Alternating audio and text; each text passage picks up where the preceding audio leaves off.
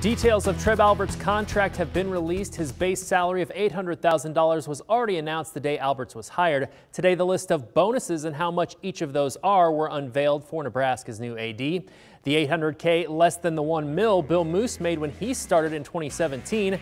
Alberts gets a $100,000 bonus if the Huskers win the Big Ten football title, 150,000 if NU wins the college football playoff, Alberts also receives a $500,000 bonus if he's still the AD in five years, which is still less than half the retention bonus Moos had in his contract. Alberts can also earn bonuses for Nebraska's academic progress rate and finish in the Directors Cup standings, which calculates every school's result in every sport.